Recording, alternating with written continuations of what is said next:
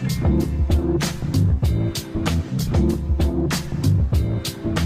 you.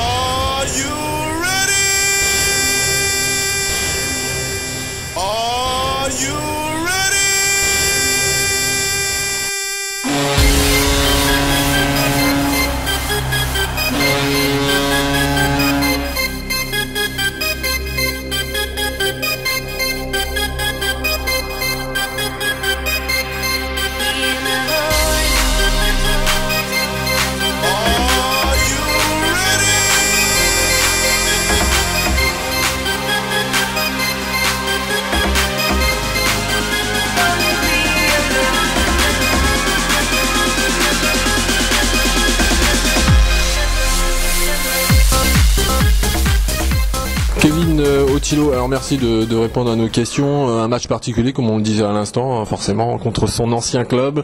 Premier match de la saison euh, à la patinoire de Lilleberg. C'était assez spécial ce match hein, quand même. hein. On a pris tout de suite les devants avec les Scorpions et puis tout d'un coup, on se retrouve au troisième tiers et tout d'un coup, on a un gros gros coup de pression de, la part de, de la Roche-sur-Yon. Je pense que on avait tous envie, euh, on a très fort on a commencé le match très fort, euh, histoire de d'essayer de les asphyxier étant donné qu'ils sortaient du voyage. Après, euh, je pense que ça a été une erreur de notre part sur le deuxième tiers de, ralentir un petit peu la cadence. Bon, malheureusement, ça arrive. Hein, si, chaque équipe pouvait tenir 60 minutes sur la même allure et même augmenter encore et encore, ce serait plutôt génial et ce serait difficile à jouer. Mais euh, heureusement, les, tr- les trois points sont là, la victoire est là. Et... Alors quel était le, mot du coach? On a vu qu'il était euh, bah, déterminé euh, pour ce, premier premier match. Il vous a transmis, je pense, l'énergie pour. Qu'est-ce qui reste à régler encore? Est-ce que vous avez vu vous-même sur la glace des, détails qu'il fallait commencer à, régler? Pense que les détails, euh, les détails qui ont joué en notre défaveur euh, seront réglés euh, au cours de la semaine. On va avoir beaucoup de beaucoup de petits rendez-vous, histoire de savoir qui peut améliorer quoi encore pour tous vraiment donner encore plus que ce qu'on a fait. Qu'est-ce qui a manqué ce soir? Vous aviez pris tout de suite euh, le, le match euh, euh, à bout de bras, on va dire. Vous étiez vraiment bien parti vers l'avant à chaque fois. On prenait le palais et tout de suite vers l'avant. Qu'est-ce qui a manqué en, en cette fin de match? Une volonté ou se dire bah, on va essayer de gérer quand même? Je pense que on a, on s'est mis à, on s'est mis à douter.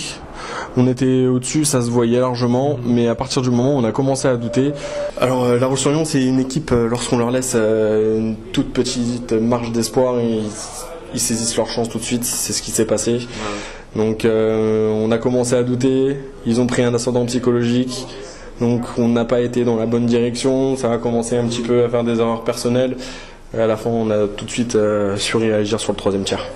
Alors qu'est-ce qui t'a motivé toi de, choisir euh, Mulhouse? On a vu quelques réactions de ta part dans, des commentaires que tu as déjà fait, mais euh, bah, pour nous hein, justement, on voulait savoir euh, ta réaction aussi. Pourquoi ce choix à Mulhouse? Un choix stable, un club en ambition, tout ça a joué pour toi, la région. comment tu, détermines le, club dans lequel tu, tu veux jouer quand on te fait des propositions?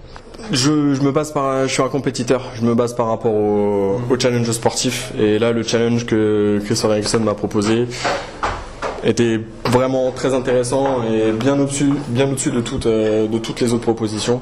Ma foi, euh, je sors d'une montée en première division avec euh, le club de La Roche-sur-Yon.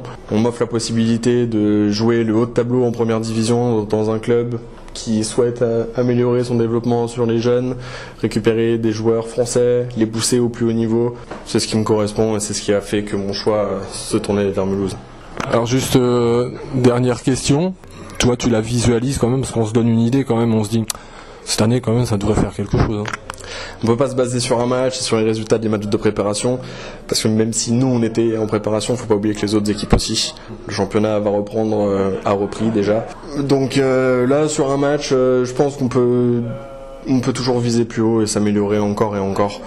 C'est à ça que vont nous servir tous les entraînements qu'on va avoir toute la semaine, histoire de faire la meilleure équipe possible.